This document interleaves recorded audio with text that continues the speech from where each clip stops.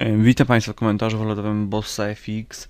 Ja nazywam się Konrad Ryczko i pracuję jako analityk walutowy w domu maklerskim BOŚ. E, Dzisiaj mamy dzień 24 września, poniedziałek, początek nowego tygodnia. E, Godzina 10.50 praktycznie, w związku z tym zapraszam Zapraszam do omówienia sytuacji na czterech najciekawszych parach walutowych, jakie dla Państwa dzisiaj przygotowałem.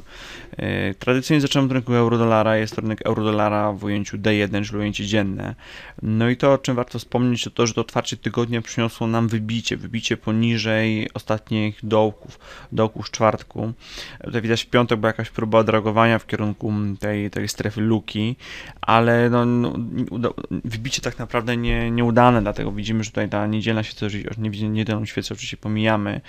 E, Dzisiaj widzimy zejście w kierunku 1,29, jest to zarazem pełen zakres. Jest to dość potencjalne wsparcie, ponieważ jest to nie dość, że to jest pełen zakres 1,29, e, 23,6% zniesienia FIBO. No i dodatkowo jest to ograniczenie tutaj wypadające przez, e, przez tą linię trendu, linię trendu spadkowego, która miała miejsce do trzech tutaj w szczytach. Widać, że tutaj rynek będzie testował ten zakres najprawdopodobniej, a kolejne mm, wybicie że jest tu lekko naruszony już nawet, także można oczekiwać, że ten tydzień, e, a więc mm, wzrost niepokojów związany z Grecją, zwiększenie, zwiększenie tam też deficytu, prognoz deficytowych, no i temat Hiszpanii, tak, temat Hiszpanii, ponieważ ten tydzień to będzie temat, tematem zdecydowanie skupiony na Hiszpanii, ponieważ mamy e, bardzo dużą ilość e, informacji do kraju poprzez e, wyniki audytu, poprzez prognozy finansowe, no aż do, do tak naprawdę potencjalnej wystąp, potencjalnego wystąpienia premiera Mariano Rajoya do, do struktur unijnych o pomoc, co pozwoli zainicjować e, głośno, głośno, głośno zapowiedziany program OMT, Outright Monetary Transactions, wykonania Europejskiego Banku Centralnego.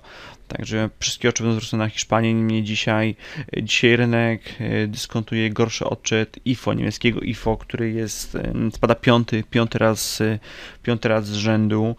No i w tej chwili znajdujemy się tak naprawdę na poziomie przełomu e, marzec-kwiecień 2010, także jest, jest dość źle, a mm, gospodarka niemiecka zwalniając afektuje nam również e, na złotego, który, przecież pokażemy tutaj złotego sobie, na złotego, który no widać, że słabnie dzisiaj, słabnie i słabnie tak naprawdę razem z koroną czeską. Tutaj dwie pary z tego koszyka walut Europy Środkowo-Wschodniej, y, które, które tracą, które tracą na fali tego, iż gospodarki państw tak naprawdę, naprawdę nadzory centralne tych państw szykują się do no, luzowania monetarnego. Powiedzmy, że to nie jest luzowanie na zasadzie programów, tylko obcinanie stóp, tak jak jeżeli mówimy o Polsce, zainicjowanie cyklu luzowania w Polsce, y, bądź też w Czechach. No tutaj mówi się troszkę, troszkę głośno o tym, że bank centralny Czech może decydować się na luzowanie ilościowe. Oczywiście to są takie spekulacje, także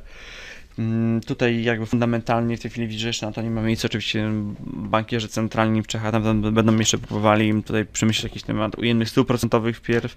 No, a, ale w każdym razie temat jest, jest po, rynek pod to gra, rynek pod to spekuluje, także widać, że korona czeska traci, no i złoty również traci i ze względu na, na, na te nastroje lokalne i ze względu na te nastroje szerokie tutaj. E, Ci z Państwa, którzy czytają moje poranne komentarze, mm, to wiedzą, że tutaj opór to 4,16,25 na dzisiaj, wsparcie 4,12,50. Eee, Ciekawa para kolejna, czyli EUR-CHF, euro do franka szwajcarskiego. No i tutaj kierujemy się tak naprawdę cały czas w kierunku mm, 1,20, 67, 60. I tutaj jest, to jest ten zakres, y, który Państwu wspomnieliśmy już wcześniej, czyli mm, tak naprawdę dopiero tutaj jest to okolica, okolice poprzednich tutaj małych szczytów i, tak, i ten zakres, który ograniczał wybicia, wybicia z tej konsolidacji.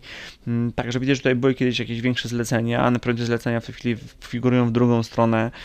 No to co, to, co rynek musi wpierw wykonać, to musi przejść tą linię trendu, linię trendu, która mm, najprawdopodobniej będzie w kolejnych godzinach testowana, ale widać, że tutaj, że euro traci dość mocno, także wydaje mi się, że kwestia tego tygodnia to jest właśnie ten test 1,2066.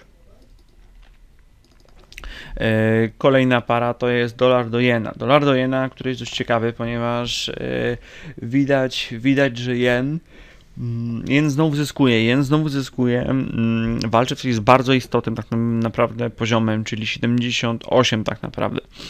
Jeżeli y, ten poziom zostałby przekroczony, no to droga do testu 77-50 zostaje otwarta zostaje otwarta i ona wpisywałaby się również na układ techniczny, czyli układ techniczny, który zakładałby, że jeżeli się tutaj zeszli, to może dojść do pogłębienia ban, może nawet dojść do pogłębienia tych minimów, także e, ten zakres jest niezwykle istotny, ponieważ jeżeli on zostanie wybroniony, to zostanie uformowana taka konsolidacja tutaj zakresu 78, 87, 78 i tutaj ten ruch będzie poruszał się gdzieś w ramach tych, tych barier.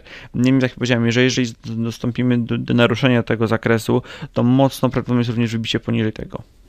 Dziękuję za uwagę.